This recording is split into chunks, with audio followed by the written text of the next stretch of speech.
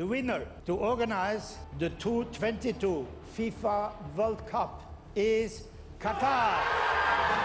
هكذا ظن النظام القطري أن كل شيء بالمال يكون سهلاً ملاعب وفنادق لم يفكر في أبعد من ذلك عندما راح يلقي بأمواله تحت طاولة الفيفا لشراء استضافة بطولة كأس العالم قبل أن يكتشف أن الأمر ليس بتلك السهولة. المتاعب بدأت مبكراً عندما انتقدت منظمات دولية ما يتعرض له العمال الأجانب من إساءة واستغلال وعمل بالسخرة في منشآت المونديال أدت إلى وفاة كثير منهم. وأصبح النظام القطري مطالباً بتعديل قوانينه الخاصة بالعمالة ومنها إلغاء نظام الكفالة المعمول به في البلاد. هكذا اكتشف نظام الدوحة أن عليه القيام بأمور يقف المال عاجزا أمامها وأصعبها الإقرار بحقوق المثليين في مشاهدة مباريات المونديال. مشكلة وضعت حكام الدوحة في مواجهة المجتمع وقيمه المحافظة ما دفعهم إلى التدخل لحذف فقرات من تقارير صحيفة نيويورك تايمز التي تحدثت عن المثلية الجنسية وكيف أنها ستكون مشكلة